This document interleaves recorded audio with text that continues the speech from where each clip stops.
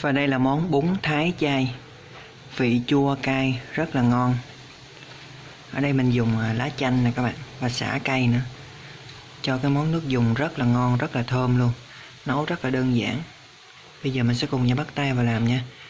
Món này mình ăn vào trời lạnh thì rất là tuyệt vời luôn. Xin chào cô chú anh chị và các bạn. Hôm nay mình sẽ cùng các bạn làm món bún thái chay Về nguyên liệu. Ở đây thì mình sẽ dùng là nửa cái nấm bào ngư à, Nấm bào ngư này mình nấu nước dùng rất là ngọt các bạn. Nếu như các bạn tìm mua được thì nên mua loại nấm này nha. Nấu ăn rất là thơm, ngọt nước. À, Để tăng thêm độ ngọt Thì mình sẽ dùng là một lít rưỡi nước dừa tươi. À, Nếu như không có nước dừa tươi thì các bạn vẫn có thể là dùng nước lọc. Nhưng mà thay vào đó các bạn cần dùng thêm nhiều rau củ để hỗ trợ cho cái món mình nó giúp nó ngọt nước hơn. Tại do là món chay độ ngọt thì sẽ nhờ vào rau củ.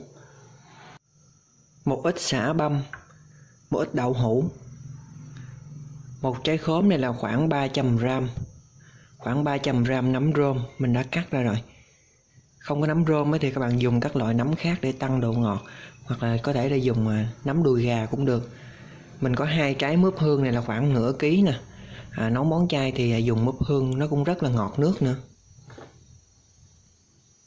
Mình dùng thêm là một ít xả cây một ít lá chanh tạo độ chua thì mình sẽ dùng là tắc và cà chua. À, tắc thì à, một hồi thì mình sẽ điều chỉnh lại sau nha. À, không có tắc thì các bạn dùng à, me khô me vắt. Các bạn là dùng cái nước me để mình làm độ chua cũng được mình thì mình thích dùng à, tắc hơn.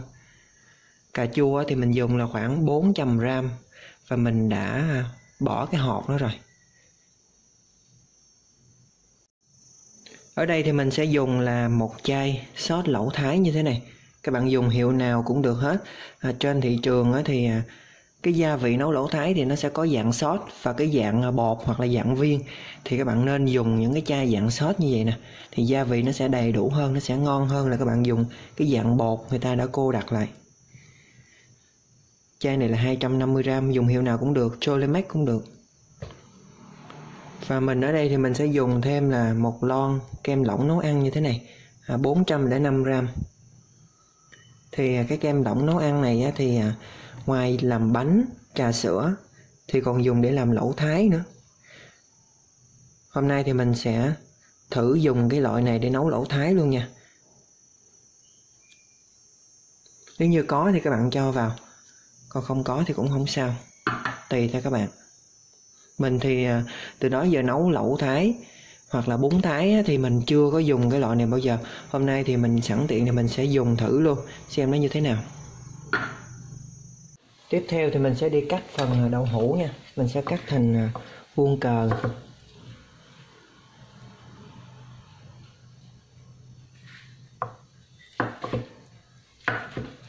Cắt to nhỏ thì tùy các bạn.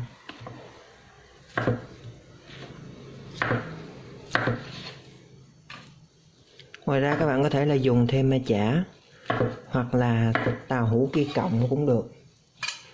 Nếu như dùng tàu hũ kia cộng loại khô thì các bạn phải chiên nha. Chiên cho vàng rồi các bạn mới cho vào nồi lẩu được. Còn các bạn dùng à, tàu hũ kia tươi thì à, mình chỉ cần rửa sạch là được rồi. Và mình cho vào nồi lẩu, mình nấu. Cái phần à, khóm này thì mình sẽ cắt nhỏ nhỏ ra để mình cho vào cối. Mình xay cho nó mịn ra cái món này cũng không thể nào là thiếu khóm nha các bạn. Khóm nó cũng quan trọng lắm. Nó giúp tạo mùi thơm, độ chua, ngọt, thanh cho món ăn. Mình à, xay chung với cà chua luôn. Xay cho thật là mịn ra nha. Mình xay không như thế này không cần phải cho nước vào. Mướp thì mình sẽ à, cắt làm tư. Để nấu nước ngọt thôi. Chứ nó cũng thơm nước nữa các bạn. Nấu hủ tiếu chay thì người ta thường dùng mà mướp hương để tạo độ ngọt. Còn xả thì mình sẽ cắt khúc và mình à, đập dập nó ra.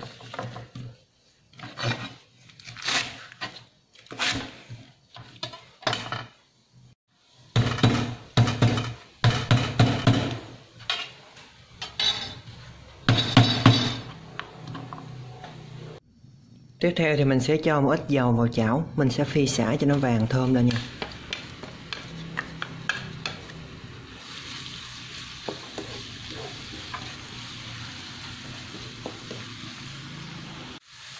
Xả đã vàng rồi nè.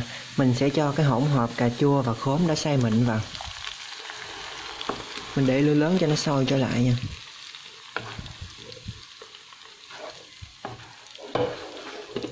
Rồi mình sẽ nấu cái hỗn hợp này một chút xíu để cho nó ra màu đẹp. Cà chua mình nấu với dầu, mình xào với dầu một hồi thì màu nó lên rất là đẹp. Cà chua mình nấu được khoảng 3 phút rồi nè các bạn. Tiếp theo mình sẽ cho cái phần nấm bào ngư này vào.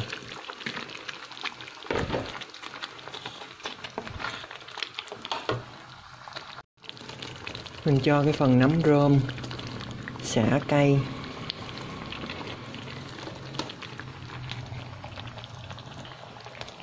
cho cái sốt lẩu thái vào luôn nha.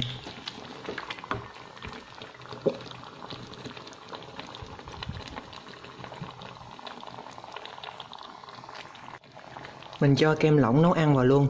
À, kem lỏng nấu ăn này thì nó sẽ không có quá ngọt.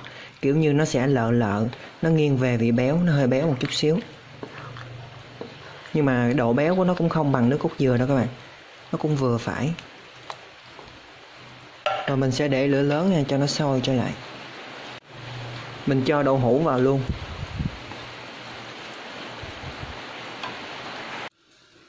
Mình đã nấu được 10 phút rồi nè các bạn, với lửa vừa.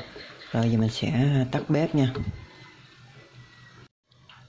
Ở đây thì mình sẽ nấu hai trái bắp mỹ với một lít rưỡi nước.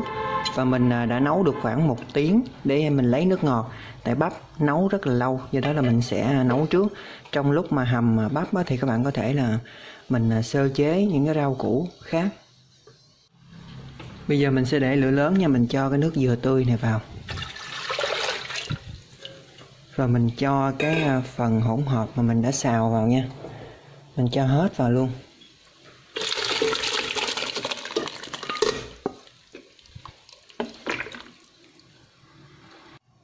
Mình cho mướp hương vào. Các bạn để lửa lớn cho nó sôi đều trở lại. Khi nó sôi đều trở lại, các bạn hạ xuống lửa vừa rồi mình hầm cái nồi này từ từ nha. Mình nấu được khoảng 35 phút rồi nè các bạn.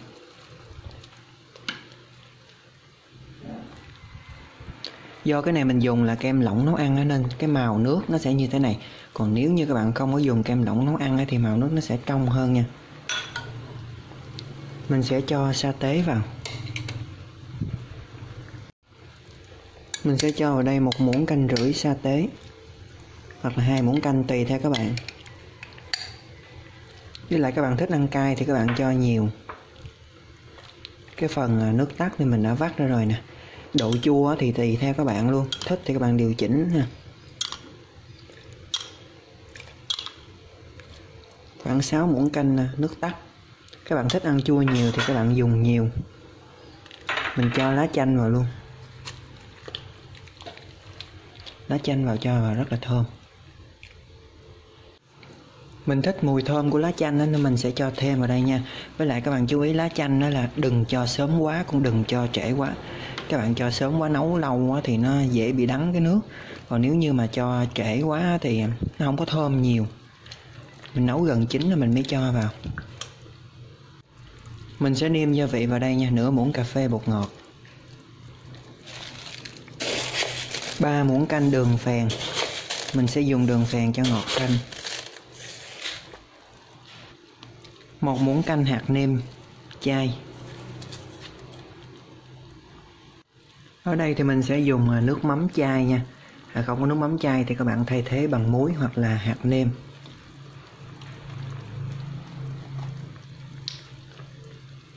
Mình sẽ cho vào đây là hai muỗng canh nước mắm chay.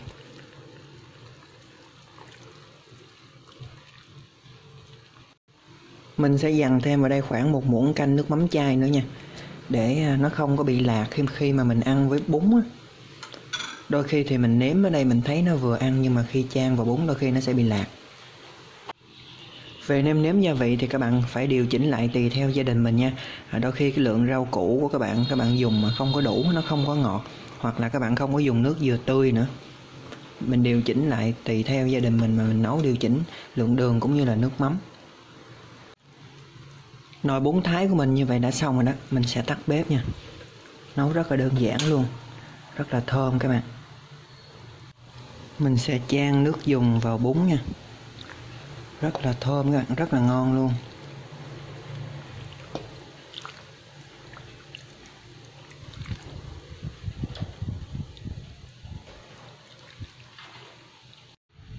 Ăn kèm món này thì mình sẽ có là rau muống bào một ít nấm kim châm lá quế và ngò gai. À, nấm kim châm và rau muống bào á, khi nào mà ăn thì các bạn nhớ nấu nước cho sôi lên rồi các bạn cho cái này vào.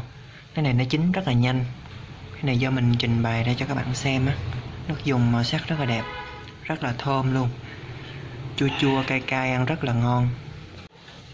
Với món ăn này thì mình xin chúc các bạn sẽ làm thành công nha. Xin chào tạm biệt và hẹn gặp lại.